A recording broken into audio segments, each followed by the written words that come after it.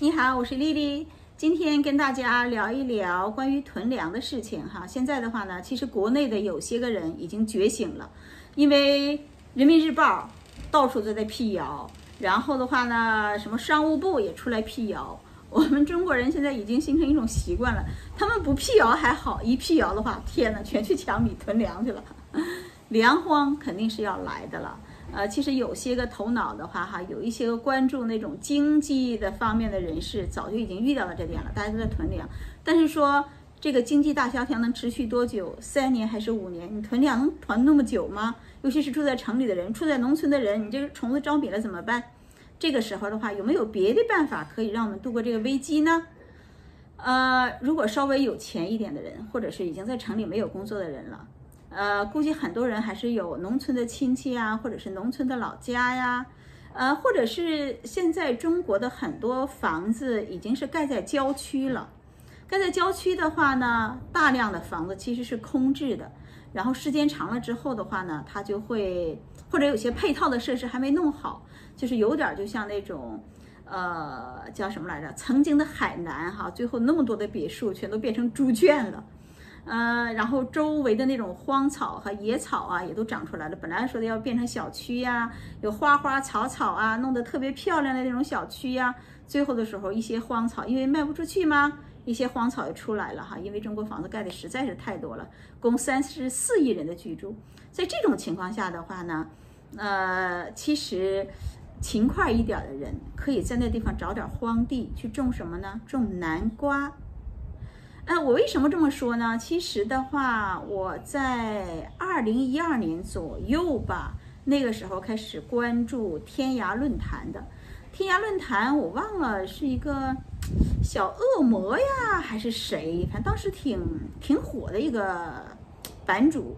然后他就聊起来了，如果有粮荒，应该大家就是各种就是说，其实那个时候已经有识之士已经预料到这一天了。但是就说大家就是出主意啊，应该是怎么样去度过这个难关呐？应该怎么样？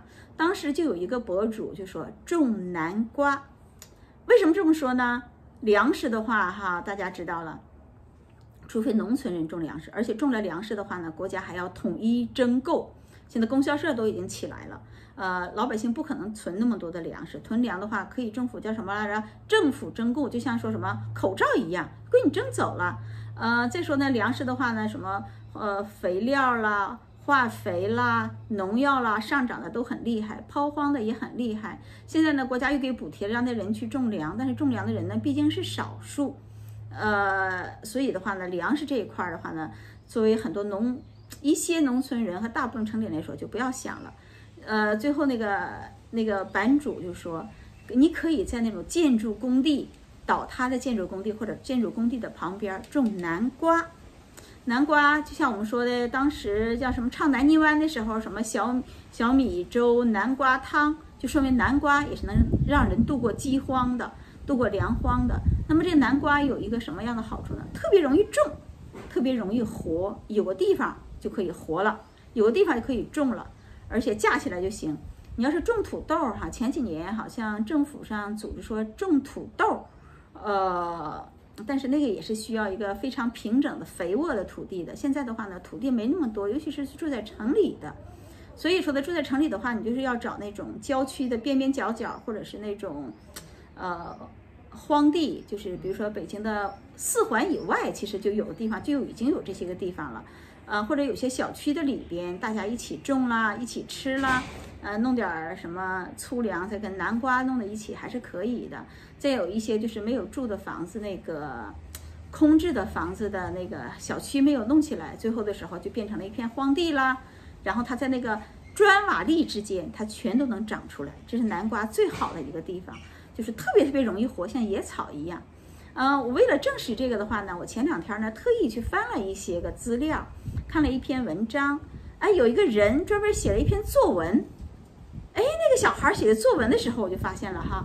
他说他每天就路过一片工地，然后都是砖瓦砾，就是那种建筑工地，都已经废弃的建筑工地啦，就来来回回的在那儿走。有一天突然之间就发现了一个小苗儿，就从那建筑工地的乱石当中长了出来。然后再说呢，再过一段时间的话呢，然后就开花了，再过一段时间就结果了，就几个南瓜，那是野的呀，没人管的情况下，它自己就长出来了几个小小的南瓜。如果我们就是说的再伺候伺候它，再侍弄侍弄它，呃，虽然不能浇肥吧，弄点水什么的哈，它就能长得更多了。所以在这个时候的话呢，你就可以实现了自给自足，哪怕你不存粮的情况下，你也可以就是说，呃，因为存粮不够嘛，就是说的也是可以度过这种饥荒的。因为大家知道了，就说政府嘛，肯定还是给你会分配一些粮食啦。呃，比如说的政府公务员给你多少，机关事业单位多少，呃，然后某些个军队肯定是优先的了，然后是警察了，呃，就是按需分配，其实已经来了。供销社就是现在的消费券嘛，大家一点点的。但是你作为普通老百姓，你不在这些体制内，你不在这些个呃单位里边，你怎么办呢？你就只能自己想办法。自己想办法的话，哈。就是那些人的话不再跟你争，而且的话呢，给别人一斤，给你三两的情况下，你还是有点粮食的。你再种点南瓜，呃，还是可以能度日的。再有一点，荒地上哈，你可以种一些野花，从那些野花的话呢，你再自己养点蜂蜜。别的我们不知道，小龙女我们都知道了吧？呃，《神雕侠侣》杨过、小龙女，他俩是怎么在古墓里生活的？靠蜂蜜呀。那个时候的话，你就可以搭几个板儿。呃，现在网络又发达，怎么样弄蜂蜜啊？怎么能养蜂？你只要养一点，那蜂子就来了很多。呃，然后的话，怎么样想办法？就是养点蜂子，弄点蜂蜜，你也一样可以活的。那个花的话呢，就弄些野花了，上山上。嗯，那个时候的话，农每个人都有去农村的机会，或者上郊区的机会吧。上山上采一些野花，那些种子就往那个，就是那个建筑工地啊，空地上去撒。撒完了之后的话。你就可以招蜜蜂来了，然后你就可以就是弄几板那个，呃，蜂箱叫具体我也不太很清楚吧，那个东西叫什么？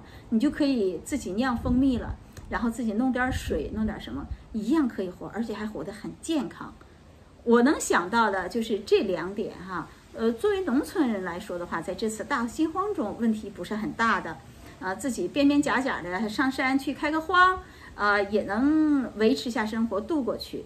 然后呢，对于体制内的人来说，比如说，尤其第一是军队的，啊，第一是核心权力家族的吧，人家的话还是吃香喝辣的，都不用管的。什么时代，人家都吃香喝辣的，就像，哎，以前那样的。然后后来我们就说，对于普通人来说，首先军队的、警察的，这都属于维稳系统的，肯定会生活的很好。再加公务员系统的，公务员系统的话呢，肯定会有一部分下岗，呃，还有一部分会留着的。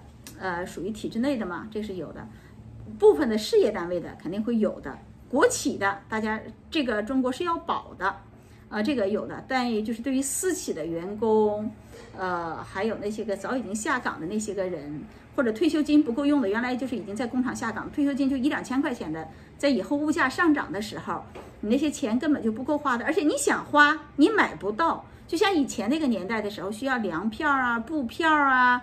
啊，邮票啊，估计以后肉票会出现了，邮票会出现了，这些东西肯定，估计明年的时候就能出现了吧？这些东西它不过不叫这个名字，叫个什么这个券儿啊，那个券儿之类的，呃，就跟你少少的一部分。但是你第一，你种南瓜，然后跟着他给你的那些个粮食放在一起，南瓜粥、南瓜汤、南瓜饼的这样做，吊着样的做，是能养活你自己的。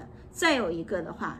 你弄点养蜂的，养点蜜蜂，就是大家不一定是一家嘛，就是蜜蜂不一定只上你家，不上他家，大家可以邻居起来。那时候就是大家属于做共产主义社会啦，大家一起联合起来，一起养点蜜蜂，大家一起喝，然后的话呢是能度过这个难关的。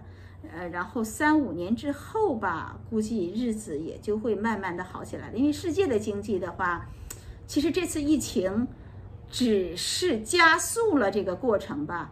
呃，前期的话，最主要的原因就是说，以华尔街资本这些个坏人哈，这个坏蛋哈，华尔街资本，呃为主的，就是全球大放水，债务，然后富了富人，穷了穷人，就是以穷养富，然后弄了所有的政府一堆债务，呃，企业一堆债务，老百姓一堆债务。有的人说，哎呀，我有钱呢，我住两百万的房子，其实他才什么百分之十的首付，才付了二十万，剩下那些全都是债务，是需要后。几十年来还的，所以就是没有消费啦。没有消费，大家都不出去玩了，没有衣服买呀，少买呀，或者是过了那种最基本的那种生存型的消费，所以的话呢，就使得企业的话，工厂就没法开工，没法倒闭，没人投资了。呃，所以这个债务出清的话，怎么也需要三五年的时间吧？呃，只是说的这个病毒加速了这个过程。其实有的时候觉得这个病毒也是一种好事吧，毕竟加速出清这个过程，然后的话呢，使得将来的话呢，劳动成为你生活最基本的那种财富工具吧。不能是说的我靠房子、靠股票，那个毕竟是。叫什么？在实业经济基础之上的，如果没有实业、没有制造业的话，这个就属于无源之水，什么无什么什么之类的，然后人还是没法活的嘛。所以我想，三五年之后的话，呃，就能过度过这个灾难了。但是最主要的是这几年怎么样度过去？所以呢，我在这里就可以说到两点：第一，种南瓜；第二，养蜂蜜。嗯，养蜜蜂，然后自己酿蜂蜜。好，今天节目就到这儿，拜拜。